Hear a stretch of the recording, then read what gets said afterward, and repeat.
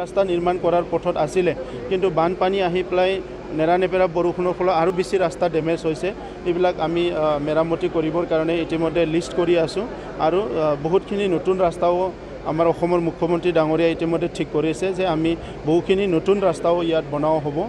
আৰু ভূটানৰ কথাটো হ'ল ভূটানে মোক যিটো মই আলোচনা কৰিলোঁ যে তেখেতসকলৰ এটাই ডেম আছে আমাৰ বড়োলেণ্ড অঞ্চলৰ পৰা।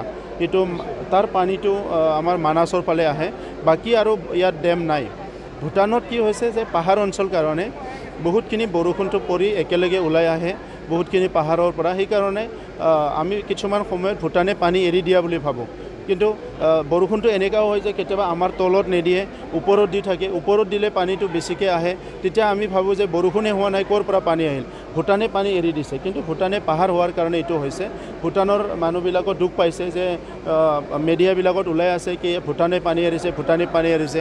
কিন্তু ভূটানে কৈছে যে আমাক পানী এৰিবলৈ একো নাই খালি এটাই ডেম আছে সেইটো বাক্সা জিলাৰ ইফালে পানীটো ওলাই আহে আৰু বেলেগ ফালেদি পানী নাহে। গতিকে ভূটানক আমি দোষ দিব নালাগে। আমি যদি ওপৰত থাকিলোঁ হয় তলত যদি ভুটীয়াসকল থাকিলে হয় তেনেকৈ ভাবিলে হয়। চ' সেইকাৰণে ওচৰত ভূটান থকাৰ কাৰণে ভূটানত পাহাৰ থকাৰ কাৰণে পানীবিলাক একেলগে জমা হৈ ওলাই আহে আৰু আমাৰ ইয়াত ক্ষতি কৰে। গতিকে ইয়াৰ কাৰণে আমাৰ ভূটান ইণ্ডিয়াৰ কাজিয়া নহয় আমি একেলগে মিলি বানপানীৰ লগত কেনেকৈ মোকাবিলা কৰিম ইয়াৰ কাৰণে আমি তৈয়াৰ হ'ব লাগে। কাৰণে বহুত জেগাত মাথাউৰি ছিঙিছে স্পিল হৈছে। আৰু বহুতখিনি গাঁও ডুব গৈছে আৰু বাক্সা জিলা আৰু ওদালগুৰি জিলাত। বিশেষভাৱে মই দেখিছোঁ এটা এটা গাঁও সম্পূৰ্ণভাৱে নাইকিয়া হৈ গৈছে। তাত বহুতখিনি আমাৰ ক্ষতি হৈছে আৰু এই বছৰত হাজাৰ হাজাৰ বিঘা মাটি বালিৰে চিল্টেড হৈছে বালি পুতিছে। তো সেইকাৰণে আমাৰ অৰ্থনীতিটো বহুত ডাঙৰ এটা এইটো ইম্পেক্ট এটা আহিব।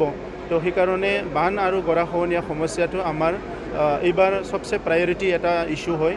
আৰু বান আৰু গৰাখহনীয়া সমস্যাটো স্থায়ীভাৱে সমাধান কৰাৰ কাৰণে যি যি পদ্ধতি যি যি প্ৰক্ৰিয়া যি যি প্ৰচেছ আমি হাতত ল'ব লাগে এইটো কেন্দ্ৰীয় চৰকাৰ আৰু ৰাজ্য চৰকাৰৰ ল'বৰ কাৰণে আমি এইটোভাৱে প্ৰস্তুতি চলাইছোঁ আৰু অতি শীঘ্ৰে আমি ৰাজ্য চৰকাৰ আৰু কেন্দ্ৰীয় চৰকাৰৰ নেতৃবৃন্দক ইয়াৰ ওপৰত আমি গোটেই আমাৰ ডাটা আৰু ৰিপৰ্টবিলাক আমি পঠাই দিম। আমাৰ চাৰি পাঁচটা ডিষ্ট্ৰিক্টৰ ডিষ্ট্ৰিক্ট এডমিনিষ্ট্ৰেশ্যনে দিনে নিশা কাম কৰি আছে। ছ'চিয়েল অৰ্গেনাইজেশ্যনবিলাক আমাক সহায় কৰিছে। পলিটিকেল অৰ্গেনাইজেশ্যনবিলাক আমাক সহায় কৰিছে। মই সকলোলৈ ধন্যবাদ জনাইছোঁ। আৰু বিশেষভাৱে এই বানপানীত আমাৰ চাৰি পাঁচজন লোক ঢুকাব লগা হ'ল। তেখেতসকলক আমি এক লাখকৈ আমি সাহাৰ্য দিম কাউন্সিলৰ পৰা আৰু অসম চৰকাৰৰ পৰাও সাহাৰ্য দিয়া হ'ব। আৰু অনাগত দিনত এই বানপীড়িত ৰাইজে কেনেকৈ ভালকৈ জীয়াই থাকিব পাৰে ইয়াৰ কাৰণে চৰকাৰী আঁচনিবিলাক তেখেতসকলৰ কাৰণে কিমান পাৰোঁ ইজিলি কৰি দিয়াৰ কাৰণে আমি ব্যৱস্থা কৰিম। আৰু তেখেতসকলে আহ, বান বানে তেখেতসকলৰ খেতি মাটিবিলাক পুতি যোৱাৰ পিছত আনএমপ্লয়ড হ'ব লগা নহয় ইয়াৰ কাৰণেও। কিছুমান এমপ্লয়মেণ্ট পলিচি যে বালি মাটিতো খেতি কৰিব পৰা কিছুমান পলিচিছবিলাক আমি আলোচনা কৰি আছোঁ। গতিকে মই ভাবোঁ যে আমি সকলো ফেচ প্ৰব্লেম বা ইছ্যু যিবিলাক আহিব আমি ফেচ কৰিব পাৰিম। দুখ পাইছোঁ এনেকুৱা হ'ব নালাগে।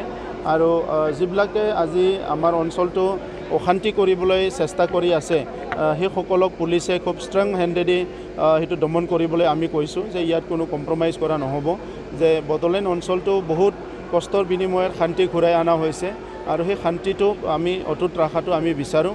সকলো জাতি জনগোষ্ঠীৰ মাজত এটা সমন্বয় ঘূৰি আহিছে। এই সমন্বয়টো সদায় থকাটো বিচাৰোঁ। সেইকাৰণে এনেকুৱা ইলেমেণ্টবিলাক যোনে এইবিলাক কাম কৰি আছে দুষ্কৃতিবিলাক সেইবিলাক চিনাক্তকৰণ কৰি পেলাই কৰি পেলাই শাস্তি কৰিবলৈ ইতিমধ্যে পুলিচে কাম কৰি আছে।